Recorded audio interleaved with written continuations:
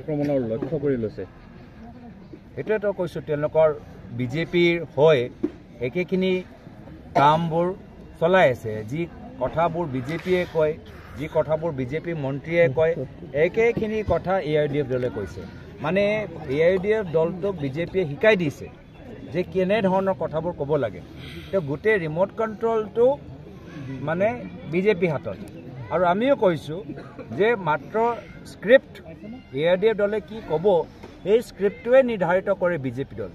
আৰু যদি সঁচাকৈ আমি বিজেপি দলটোক নাইকিয়া কৰি দিবলৈ বিচাৰোঁ তেতিয়া ধুবুৰীত এ আই ডি এফ দলটোক পৰাজিত কৰিব লাগিব।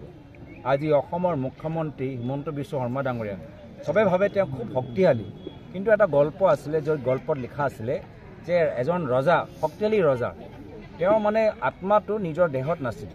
সেই আত্মাটো পিঞ্জ পিঞ্জৰাত এটা চৰাই আছিলে। সেই চৰাই দেহত আছিলে। আৰু যদি সেই ৰজাক আমি নাইকিয়া কৰিবলৈ বিচাৰোঁ তেতিয়া ৰজাক নহয় সেই চৰাইটো মাৰিব লাগিব। একেখিনি কথা আজি মুখ্যমন্ত্ৰী হিমন্ত বিশ্ব শৰ্মা ডাঙৰীয়া গোটেই আত্মাটোহে আজি মৌলানা আজমল চাহাবত আছে।